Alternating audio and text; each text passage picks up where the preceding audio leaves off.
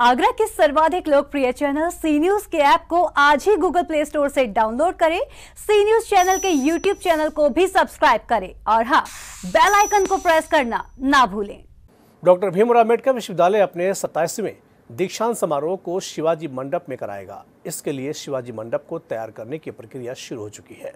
Doctor Bhimrao Ambedkar विश्वविद्यालय अपने सतासीवें दीक्षांत समारोह को शिवाजी मंडप में कराएगा। इसके लिए शिवाजी मंडप को तैयार करने की प्रक्रिया शुरू हो गई है। शिवाजी मंडप ऑडिटोरियम को तैयार करने के लिए विश्वविद्यालय की ओर से फंड भी जारी कर दिया गया है। विश्वविद्यालय के दीक्षांत समारोह की तैयारियों के संबंध में बैठक खंडारी परिसर स्थित अतिथि गृह में हुई। अध्यक्षता कार्यवाहक कुलपति प्रोफेसर विनय कुमार पाठक ने की। इसमें तय किया गया की इस बार दीक्षांत समारोह छत्रपति शिवाजी मंडप सभागार में आयोजित किया जाएगा। शहर के गणमान्य नागरिक, शिक्षक पदक धारक विद्यार्थी, कर्मचारी एवं अन्य विद्यार्थियों को मिलाकर लगभग एक हज़ार अतिथियों को आमंत्रित किया जाएगा। दीक्षांत समारोह में दी जाने वाली उपाधियों का विवरण अंकित करने के लिए एक पंजिका बनाई जाएगी। इसमें ये अंकित होगा कि इस दीक्षांत समारोह में पाठ्यक्रम वार कितने विद्यार्थियों को उपाधियाँ प्रदान की जा रही हैं। इस पंजिका में कुलाधिपति द्वारा हस्ताक्षर किए जाएँगे। सी न्यूज़ के लिए लक्ष्मीराज सिंह की रिपोर्ट।